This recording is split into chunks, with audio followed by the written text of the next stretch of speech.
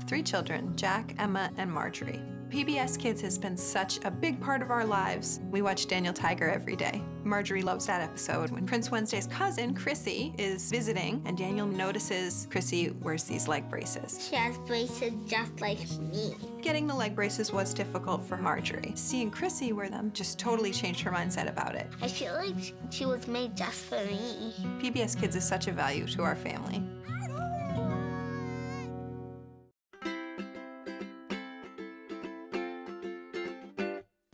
Right here, you can go anywhere and see amazing things. And that's because you and I are friends. And right here, you can be just the very best that you can be. So take a look around. Let's learn and play and sing.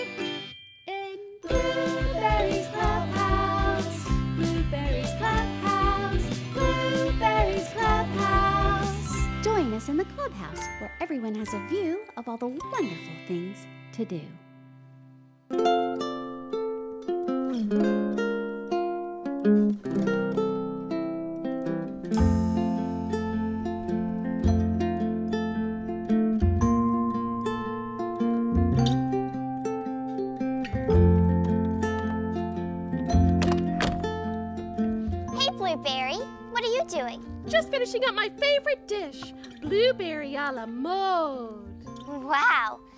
Sounds great. Are you almost finished? One moment.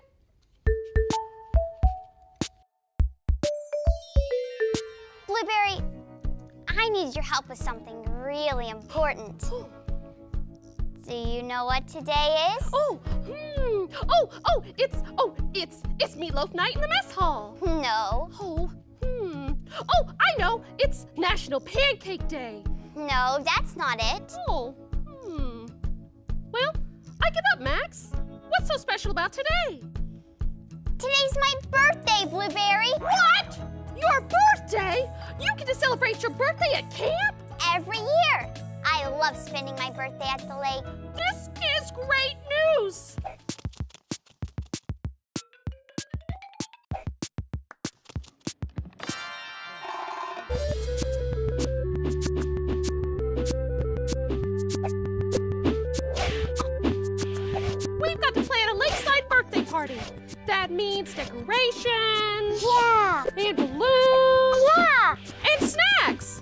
Those are the best part. Do you think we have enough time to get all that done, Blueberry? Sure we do, Max. All we've got to do is get our ducks in a row.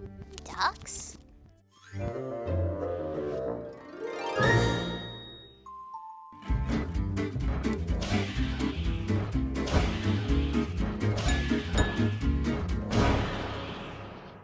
I know just who to ask for help. Friends at Zigzag Arts and Crafts.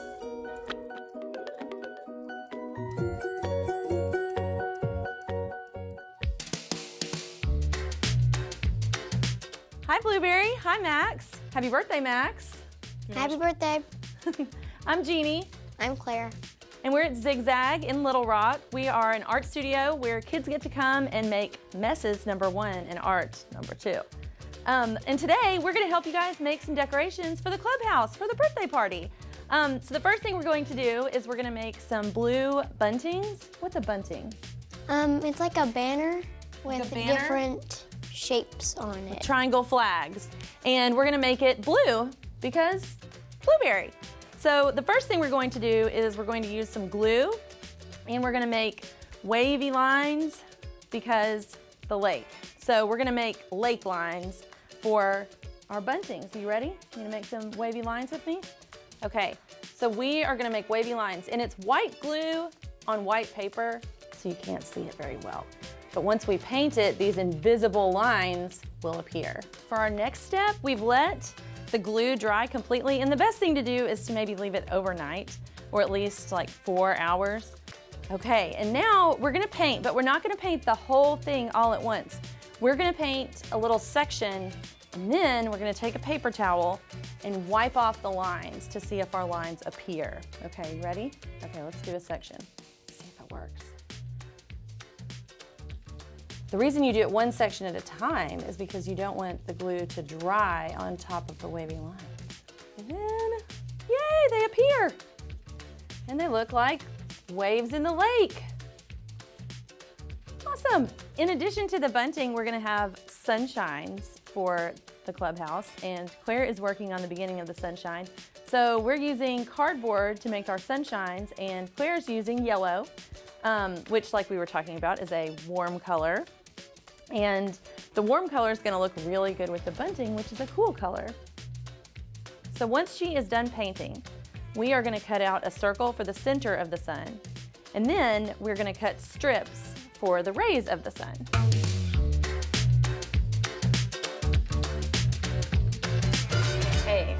Now we are going to assemble our sunshines and we are going to use glue guns. These are cool glue guns and you can use any kind of glue. You can use Elmer's glue, tacky glue is great. These are just super fast. We have them all glued and they're finished. Hey, hey son. Our blue wavy paper is dry. So I'm gonna give you half, Claire, and we are going to cut it into triangles for our bunting flags. So the next step is we're going to punch holes, two holes in the top of each triangle. Once our triangles have holes in the top, we can take some string and string them together.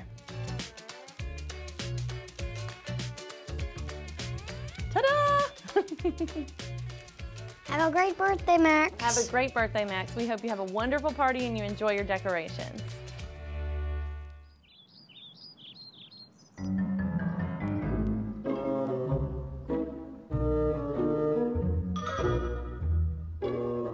Oh, well, hello. Robin Repartee here. I am a uh, world renowned comedian, and I have a joke for you. You ready? How do Romans make crafts?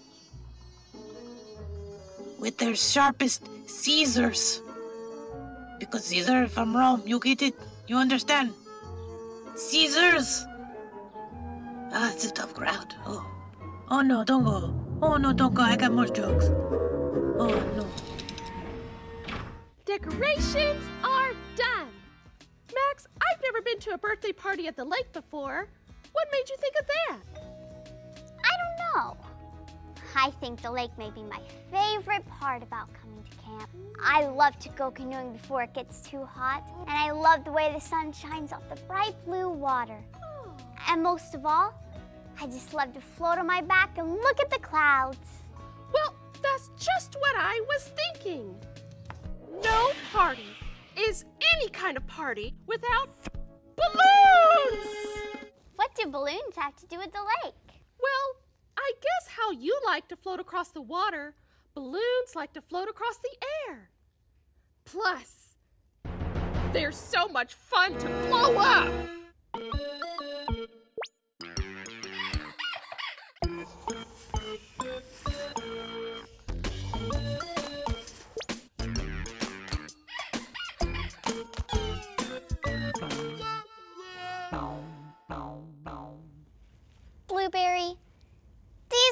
Don't seem very floaty.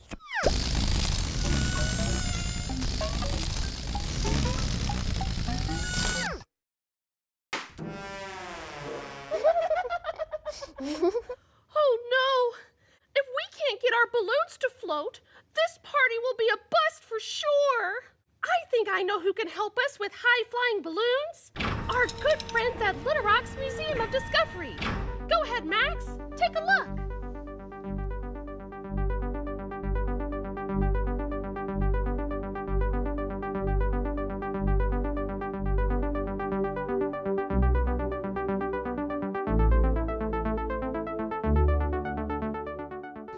Blueberry, I heard you were having trouble making your balloons float. That's where helium comes in. So, helium is way lighter than air, which is what makes them float right up to the top. But we're gonna talk about that and some other gases today. So what we're gonna do is we're gonna take this helium balloon and we're gonna put it inside of some liquid nitrogen. Now this liquid nitrogen is so cold, it's negative 321 degrees Fahrenheit. And so when we put our balloon inside, that liquid nitrogen is cooling the helium so, so cold that it becomes a liquid. But when we take it out, it transforms back into a gas and floats. So Blueberry, now that we've learned just a little bit about helium, which is number two on the periodic table, I want to talk to you a little bit about hydrogen, another form of gas. So I have this beach ball filled up with just a little bit of hydrogen, all right? And hydrogen, again, is just a little bit lighter than helium. So we're going to see what would happen if we made hydrogen our gas of choice for balloons. I'm gonna fill this up. Hydrogen is much lighter than helium, so it would float, but the issue is, is hydrogen happens to be extraordinarily flammable. And we're gonna put that to the test. And three, two, one. Whew! See, that's why we don't use hydrogen in our balloons. So Blueberry, now that we've learned about helium and hydrogen, I want to teach you about one other gas before we go. So we have a gas all around us called nitrogen. It makes up about 80% of the air that we breathe. Inside of this picture right here, I have something called liquid nitrogen, which is a liquid form of the gas nitrogen. Inside of here, I have a little bit of hot water. I'm gonna pour that out. And we're gonna mix the two and just see what happens. But if you guys have any more questions about gases or anything at all, you guys come see us at the Museum of Discovery here in Little Rock. Let's see what we can get. Three, two, one. Well, Blueberry and Max, I hope you had a great time learning about all the different gases today, and I hope you guys have a great birthday.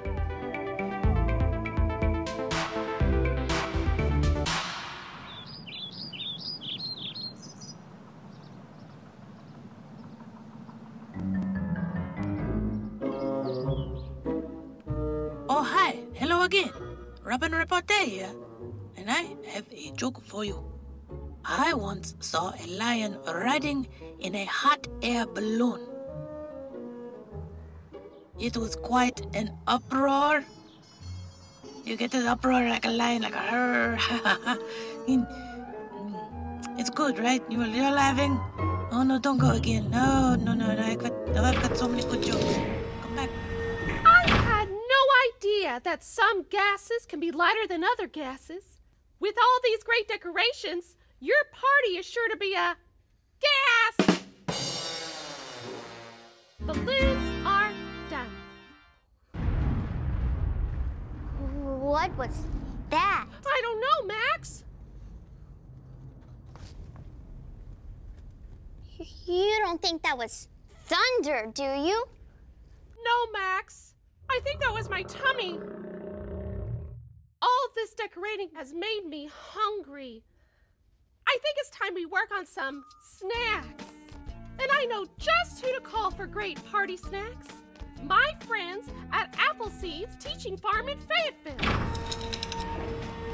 Come on!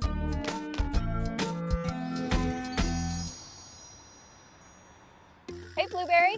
You definitely came to the right place. Making tasty snacks is what we do best here at Appleseeds. We grow tons of fruits and veggies so that kids just like you can learn how to make healthy and delicious treats. I think fruit kebabs would be a good thing to make for your party. Let's go take a look in our garden and see what we can find. Come on. Look, Farmer Ellen. Let's see what she's up to. Howdy do, Lizzie. What's up? I've been harvesting bloobs all morning. Harvest? What does that mean? Harvest means to pick the part of the plant that you're gonna eat. Here, you try it. Okay. Good job.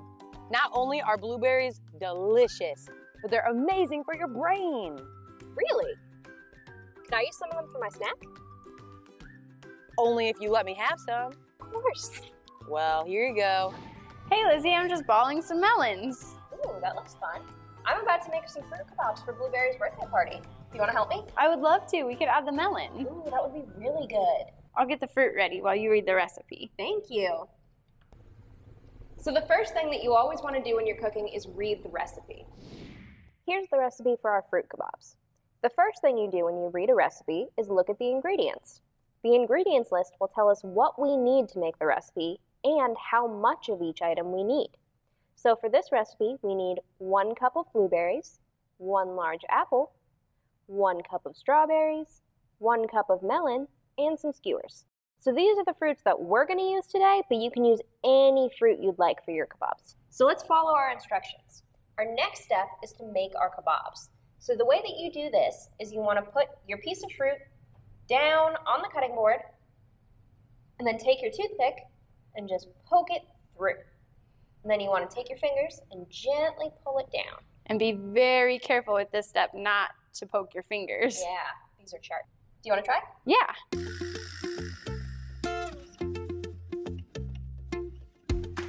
These look really good. So now we'll just continue building them until all the fruit is gone.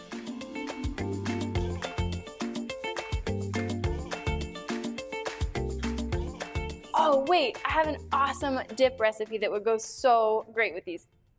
How? We don't have any more ingredients. Kitchen magic. All you have to do is snap your fingers and say mise en place. Ready? Okay. Mise en place. Whoa, it worked. Let's get going. All right, I'll add one cup of yogurt. Lizzie, will you measure out two teaspoons of honey? Sure.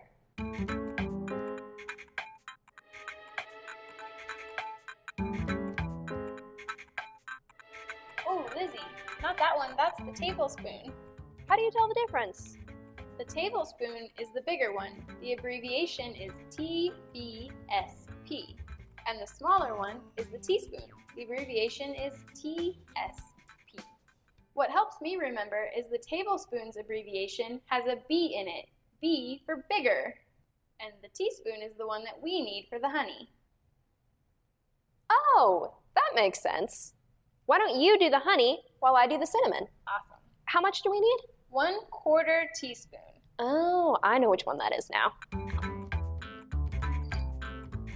the last ingredient, a little pinch of salt. Let's make some plates. Who's the third plate for?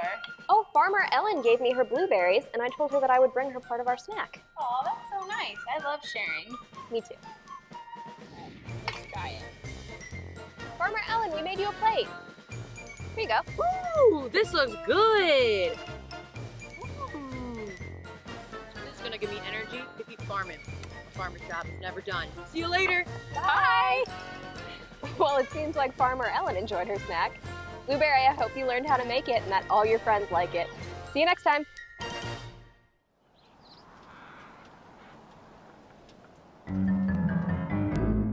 Oh, hello again. Robin Repartee. I have one last joke for you, okay? You ready for it? It's a good one. This one's probably going to bring the house down. Okay, here we go. Here we go.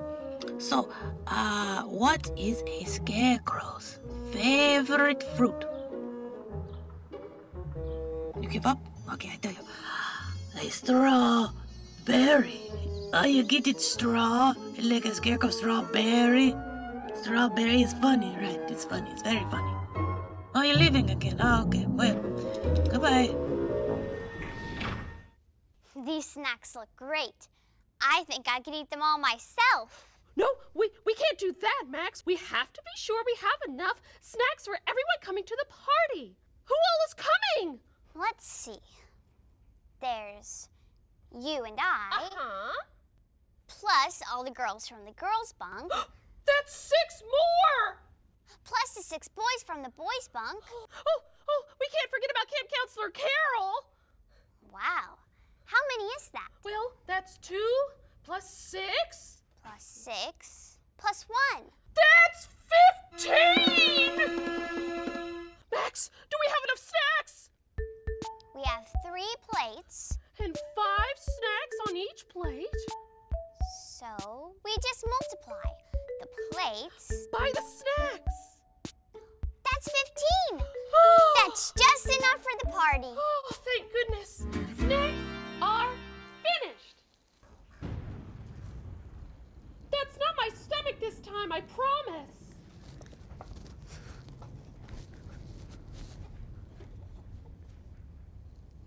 That was thunder. You don't think it's gonna storm at the lake, do you?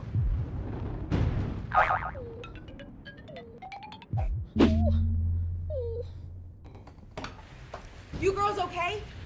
Yeah, we're safe in the clubhouse. Is it storming? You bet. And it's a doozy. Is it storming at the lake? We're having my birthday party there this afternoon.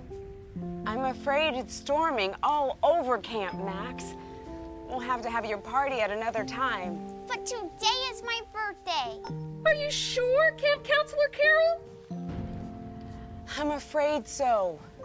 No leaving the clubhouse for now. I'm really sorry about your party at the lake, Max. But we can still have your party here at the clubhouse. I wanted to have my party at the lake. We just worked so hard. And now I feel so helpless. Why did it have to storm today of all days? We can't stop the storm, Max. I know. But why did it have to ruin my party? I'm gonna sit on the porch and watch the rain. You should just make a new dish.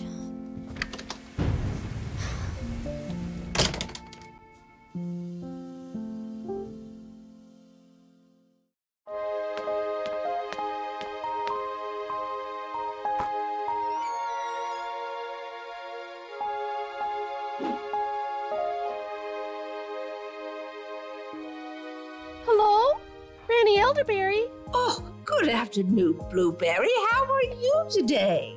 Not good. Oh, why's that? Well, today's my friend Max's birthday, and we spent all day planning a party for her at the lake. But now it's raining. oh, no. And it rained poor Max's birthday party out? yeah. Oh. Hmm. This reminds me of one of my favorite books. Granny, I don't have time for a story right now. We have to save Max's party. Remember, Blueberry, there ain't a problem in this world that can't be solved by a good story.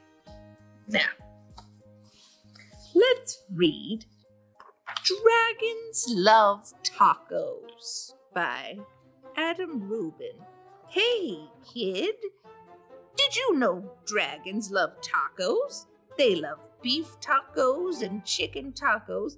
They love really big, gigantic tacos and tiny little baby tacos as well. Why do dragons love tacos? Maybe it's the smell from the sizzling pan. Maybe it's the crunch of the crispy tortillas. Maybe it's a secret. But wait! As much as dragons love tacos, they hate spicy salsa even more. They hate spicy green salsa and spicy red salsa. They hate spicy chunky salsa and spicy smooth salsa. If the salsa is spicy at all, dragons can't stand it. Why do dragons hate spicy salsa? Well, just one drop of hot sauce makes a dragon's ears smoke. Just one single speck of hot pepper makes a dragon snort sparks. Spicy salsa gives dragons the tummy troubles. And when dragons get the tummy troubles, oh boy. Hey, dragon, are you excited for the big taco party? Just remember, dragons hate spicy salsa. Before you host your taco party with dragons, get rid of all the spicy salsa. In fact, bury the spicy salsa in the backyard so the dragons can't find it. These dragons love your taco party. They love the music, they love the decorations, they especially love the tacos. Congratulations! It's a good thing you got rid of all that spice. Wait a second. What are those little green things in the salsa? You didn't read the fine print. Dragons, listen to me. Do not eat those tacos. Too late.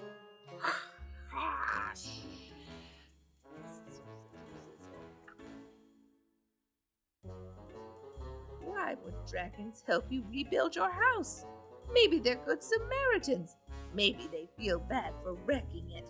Maybe they're just in it for the taco breaks. After all, dragons love tacos. The end. Hi, I'm Cloudy. When I start feeling nervous or scared, I try and remember that it won't last forever. Kinda like a storm. It comes and goes just like thoughts and feelings. You don't have to let a storm decide how you're gonna spend your day, and your fears soon will float by like clouds in the sky. Now it's my time to float away. Bye!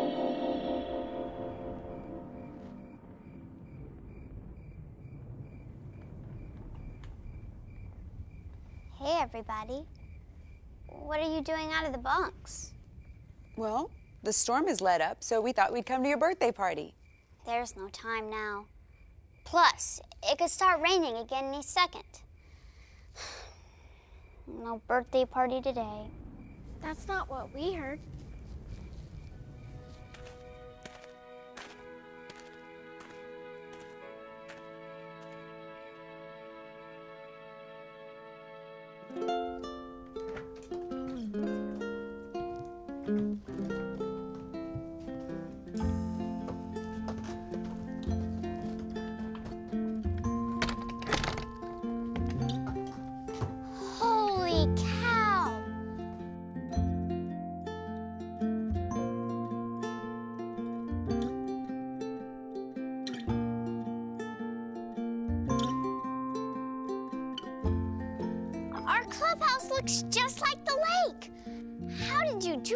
Blueberry? My Granny Elderberry, she told me a story about how another party got ruined, but they still managed to have fun with their friends.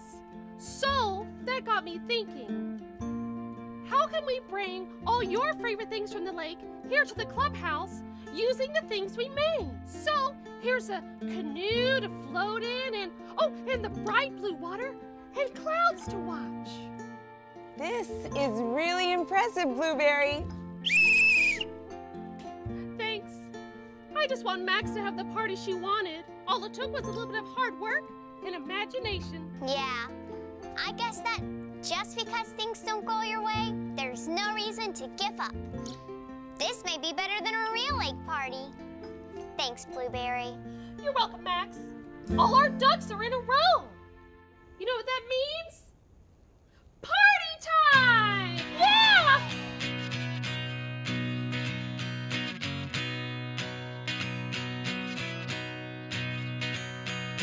Sometimes when you're working on a plan, things go wrong and wreck it. Something happens ruining your plan when you least expect it. Don't give up when nothing seems to work. There'll be a change of weather, a change of plan. The sun is out again. We're all in this together, all in this